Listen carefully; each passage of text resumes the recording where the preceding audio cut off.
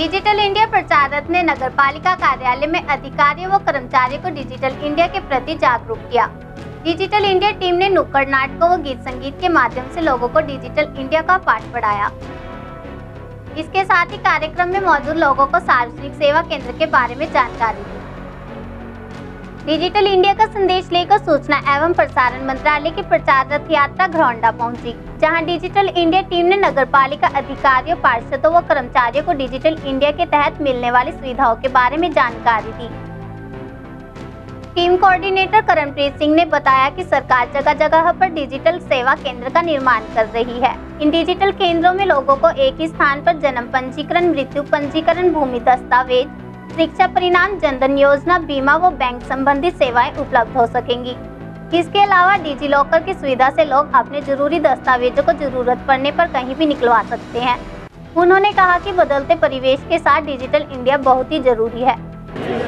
Digital India के लिए आज एक स्पेशल प्रोग्राम डिप्टी कमिश्नर की तरफ़ से ग्राउंडा में नगर पालिका के इस कैंपस में आयोजित किया गया।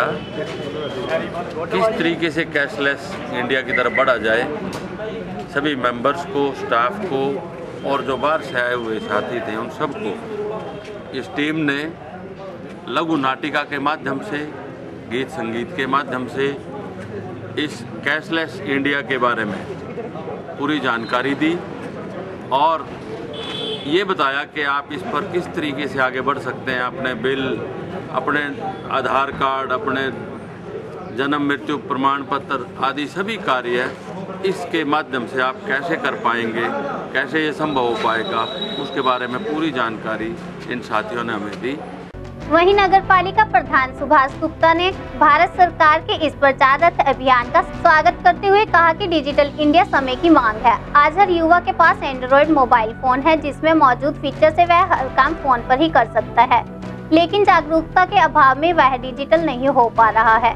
प्रचार रथ युवाओं को डिजिटल इंडिया से जोड़ने के लिए बहुत ही कारगर साबित होगा।